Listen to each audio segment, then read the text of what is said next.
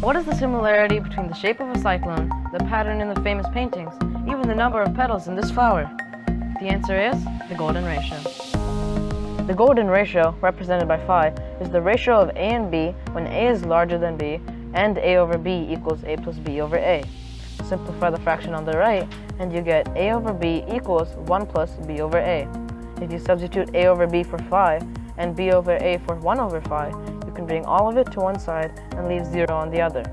Multiply the equation by phi and you get phi squared minus phi minus 1. Then substitute in the numbers for the quadratic formula and you get phi is equal to 1 plus the square root of 5 over 2 or 1.6180 and so on. Now why is this ratio so important? Well, this ratio has lots of amazing patterns. If you go back to the earlier equation where phi equals a over b and 1 plus b over a and replace a over b with phi, you get phi is equal to 1 plus 1 over phi. You can replace the phi in the equation with 1 plus 1 over phi and keep doing this forever.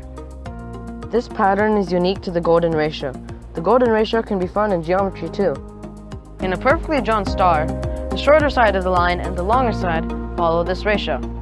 In a pentagon, a diagonal and one of its sides also has this ratio. There are many patterns like this that make this ratio special, but it's not found only in math. It's found in nature, art, architecture, even music.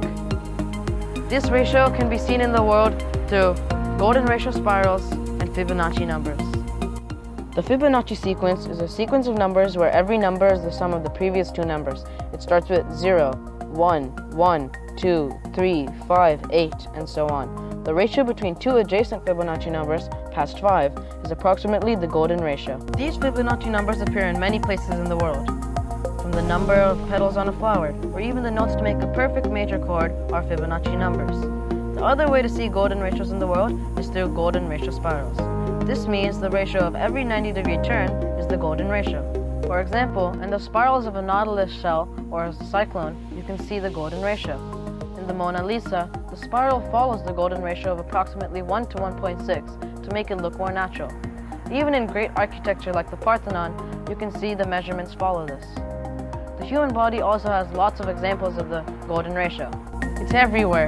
It's crazy to think that such a small ratio can be found in so many ways across the world, and it makes you wonder whether everything we know about this world is more connected than we thought. Thanks for watching.